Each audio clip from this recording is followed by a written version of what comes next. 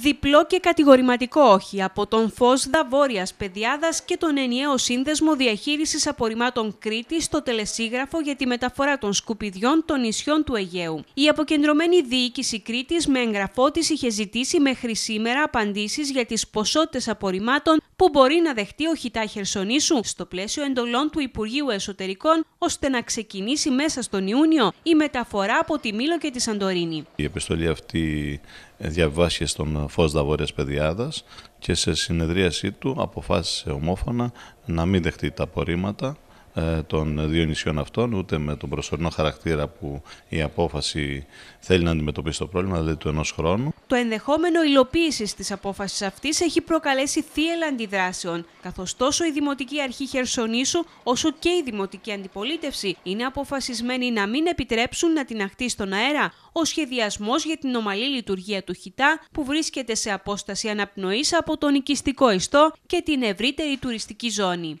εκτός από το οικονομικό κόστος της μεταφοράς το οποίο είναι πολλαπλάσιο από το πρόστιμο.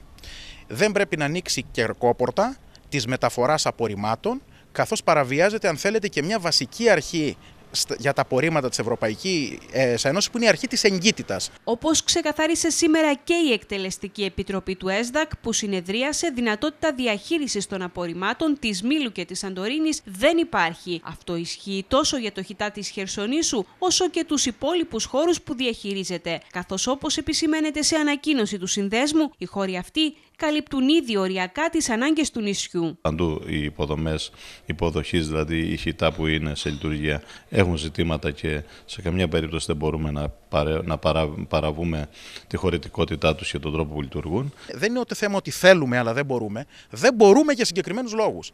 Δηλαδή, δεν μπαίνουμε καν στη λογική της μεταφοράς των απορριμμάτων και να μην μεταφέρουν τα προβλήματα ενός τόπου σε έναν άλλο.